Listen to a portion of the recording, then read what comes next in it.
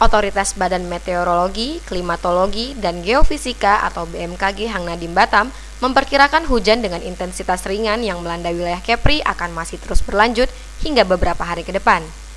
Made Kurniawan, forecaster BMKG mengatakan, tingginya curah hujan di wilayah Kepri khususnya kota Batam disebabkan oleh adanya pembelokan arah angin, sehingga menimbulkan pengurangan kecepatan dan terjadinya penumpukan massa udara atau awan kolumnimbus sehingga mengakibatkan curah hujan tetap tinggi. Namun demikian, kondisi cuaca tersebut tergolong masih dalam taraf wajar dan normal, sehingga masyarakat tidak perlu cemas untuk melakukan aktivitas sehari-hari.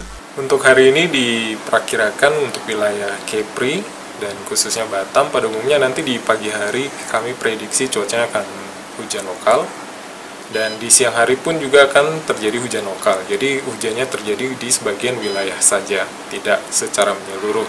Sedangkan di malam dan dini hari, untuk hari ini dan esok hari kami perkirakan cuaca pada di wilayah Kepri pada umumnya kita prediksi akan berawan.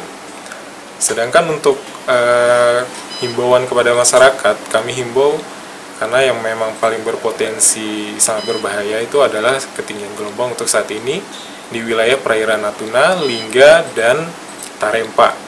Jadi untuk masyarakat kami himbau agar tetap berhati-hati karena ketinggian gelombang sekitar berkisar antara 0,2 hingga 1,3 meter di wilayah perairan Natuna, Anambas, dan Liga. Dengan adanya kenaikan tinggi gelombang tersebut, ia menghimbau agar masyarakat yang menggunakan jasa transportasi laut dan para nelayan selalu waspada dan berhati-hati terhadap gelombang tinggi yang bisa muncul secara tiba-tiba disertai dengan awan gelap dan angin kencang yang dapat mengancam keselamatan. Tim Liputan Diamond TV mengaporkan dari Batam, Kepulauan Riau.